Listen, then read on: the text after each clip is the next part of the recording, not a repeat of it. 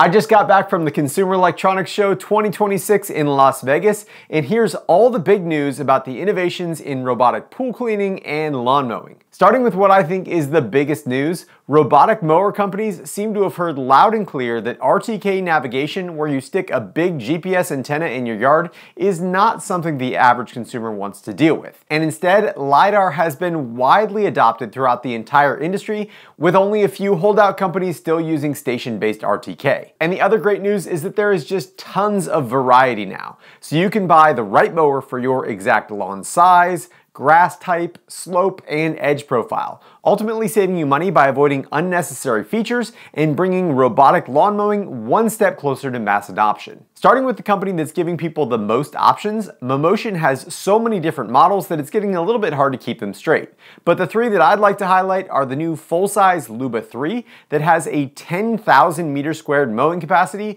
which is about two and a half acres, and it uses what Mammotion is calling Tri-Fusion navigation that has LiDAR, vision, and cloud-based RTK, and using its all-wheel drive system, it can handle slopes up to 39.6 degrees, which is much steeper than you'd want to mow with a traditional lawnmower. For smaller yards without massive slopes, the Mammotion Yuka 2 is getting that same Tri-Fusion navigation system with LiDAR, vision, and RTK, but combined with a much smaller mowing capacity, two-wheel drive, and of course a much smaller price tag. And if you need all-wheel drive but you've got a smaller yard, the Luba 2 Mini series is for you, and Mammotion showed off the new Luba 2 Mini 1000 that has a side trimmer disc to be able to get closer to edges. And it's got the same climbing capabilities as its Luba 3 big brother. However, one potential downside that we've seen with all-wheel drive systems is the possibility that soft ground can get torn up while the robot is turning. But Roborock aims to solve that with their new RockMow X1 LiDAR by offering an active steering system on the front wheels that allows it to complete some extremely tight turns and makes for a much more gentle zero-point turn that's less likely to tear up your yard. Roborock also teased an edge module that can cut within 3 centimeters of the side of the unit, and the RockMow X1 LiDAR also has independent suspension and they showed it off navigating even the most treacherous yards without getting stuck. And speaking of getting stuck, a company that I've never heard of called Lopkin was at CES showing off their new E-series of robotic mowers that have a set of recovery arms that allow it to lift itself out of holes if it gets stuck, which seems like a great innovation. The Lopkin also has a side cutting module, but unlike the other side discs that still leave about 3 centimeters of uncut grass, Lopkin says their side trimmer cuts about twice as close, getting within 1.5 centimeters of the side of the robot. However, Ecovacs is going one better than that, and they are including a string trimmer on the side of every single one of their robotic mowers this year, and last year, the Ecovacs A3000 LiDAR paved the way for LiDAR to take over the industry, and this year they've switched their lower capacity, more budget friendly A2000 to LiDAR, and even their sub $1,000 GOAT O1000 is getting LiDAR and their True Edge string trimmer. That True Edge string trimmer will use standard size trimmer line available in 10 meter pre-round spools, and one spool will trim around 7,000 linear meters of lawn edge. And all three models will be able to automatically detect areas where it should use the trimmer, but you can also also specify other areas in the app and turn off string trimming in other areas where there might be too much loose gravel to safely do string trimming. Yarbo also has a string trimmer available as one of its attachments for its new M series core that offers a similar style of modular yard equipment to their Y series core, but in a much smaller package and with LiDAR and vision instead of RTK for navigation. It's still unclear whether the smaller M series will get all of the modular attachments that the Y series has, but at CES they were showing off the trimmer, the snowplow, and the cutting deck, which is available in both traditional discs or what they call straight blades that are more similar to the mulching blades on a traditional lawnmower. And that brings us over to the Lymow 1 Plus.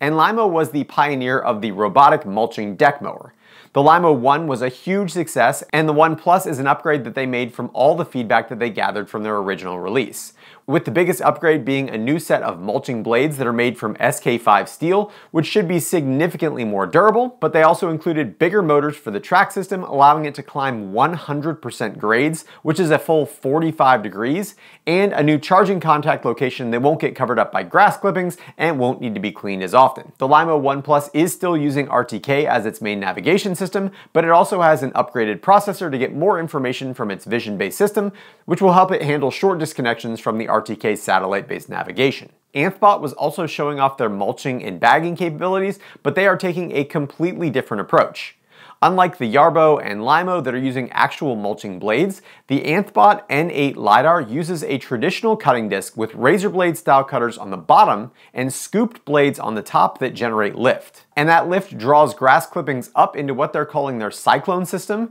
And in the cyclone system, smaller debris is able to fall back down to the lawn, while larger debris is captured and sent back into the bag system. The 23 liter bag then has a capacity sensor, and when the bag is full, the Anthbot N8 LiDAR will travel to a specified area and automatically dump the bag before returning to its mowing task. As the name suggests, the N8 uses LiDAR and will offer a more affordable mulching system than competitors, and I know it'll be an absolute game changer for me if it can mulch and collect Florida oak tree leaves. And last, Dreame and MOVA both showed off almost identical robot lawnmowers, and Dreame calls theirs the A3 Edgemaster, while MOVA calls theirs the Lidex Ultra Flex. But both of them are all-wheel drive LiDAR motors with floating cutting decks that have one of their blade discs positioned just 3 centimeters from the side of the robot for more efficient edge cutting, in what Dreame is calling their Edgemaster system, while MOVA is calling that same system Ultra Trim 2.0. Dreame also showed off the concept Dreame Apex with a robotic arm mounted to the top of the mower that they claimed would do everything from moving sticks out of the yard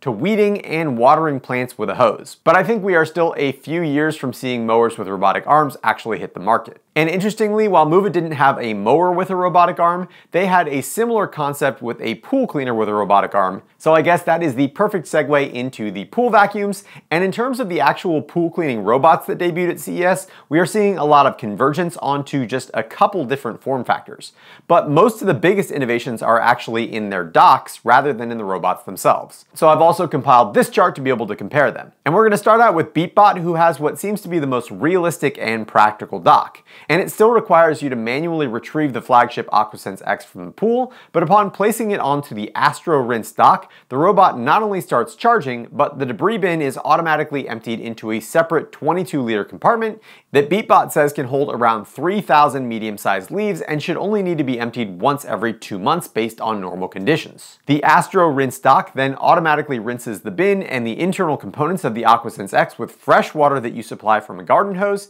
and to me this is the most unique feature and it should help reduce the rapid degradation in plastic that's common in robotic pool cleaners due to frequent and prolonged contact with chlorine and salt from pool water. In addition to compatibility with the Astro Rinse dock, the AquaSense X is BeatBot's most advanced all-in-one cleaner and skimmer and has 29 sensors including gyroscopes, ultrasonic distance sensors, infrared sensors, and a front-facing AI camera that can detect 40 different common objects in pools, allowing it to do targeted cleaning. However, if you don't need the dock and you mostly struggle with surface debris, the BeatBot Sora 70 might actually be a better option, since the Sora 70 has a unique water jet system called Jet Pulse that creates a water current on the surface, drawing more debris into the skimmer than normal. The Sora 70 also has a redesigned suction inlet that allows it to clean in as little as 20 centimeters of water, making it the perfect option for sun shelves and tanning ledges. Last year, I reported on the WyBot S3 that was supposed to be released in April of 2025, but it is now expected in Q2 of 2026.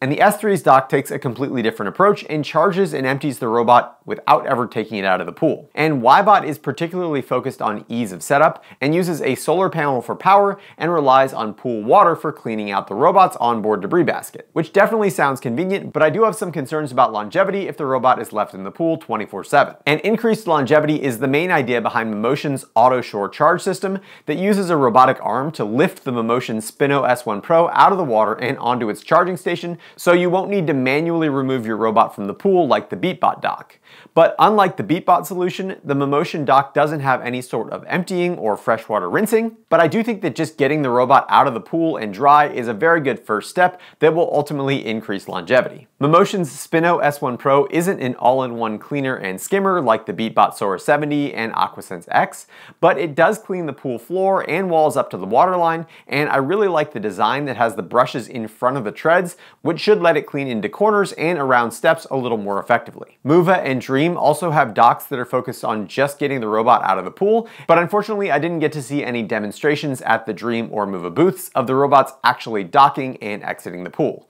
But the general idea is the robot will drive up onto the dock and use its motors to adhere itself to the motorized plate on the side of the pool, and then that can hinge up and allow the robot to drive onto the top charging area. And again, MOVA and Dreame had very similar looking robots called the Dreame Z2 Ultra and MOVA Rover X10 that are both all-in-one vacuums and skimmers, and they've got an interesting addition of a top-mounted 360 degree LiDAR that I'm told will work both on the pool's surface and underwater, and should bring next level accuracy and coverage, and possibly even the ability to map no-go zones in the future. Aiper, who was the number one selling brand of smart pool cleaners in 2025, also had a dock displayed at their booth, but they said it was intended for a future model that wasn't actually displayed at the show and instead Aiper's 2026 flagship is the Scuba V3 Ultra that has an automatic cleaning mode where you charge it up and you put it in the pool and it will intelligently ration its battery life to keep your pool clean for an entire week using its two AI cameras to judge how dirty the water is and whether the pool surface or pool floor needs more attention based on weather patterns and local conditions. And one of the coolest things to me was their new jelly float system that uses airbags to ascend to the surface instead of the old method that needed to climb the pool walls. And Aiper says this new method is significantly more energy efficient, but I'm personally glad to see it because I know that the previous method didn't work when my pool's water level got too high. And not all of the pool robots that were displayed at CES were flagships, and MOVA also showed off their Diver A10, which is a more affordable option that cleans the floor, walls, and water lines without skimming, and Ecovacs has also thrown their hat into the robotic pool cleaning ring with two new robots for 2026, and a more premium model that's called the Aquamarine C1 will feature a full set of mapping sensors, including laser, RGB camera, and sonar to employ Ecovacs' popular AI-VI 3D mapping. And they also have a more budget-friendly Aquamarine P1 that has similar cleaning power with fewer sensors and promises to offer excellent performance without an ultra-premium price tag. So what do you think?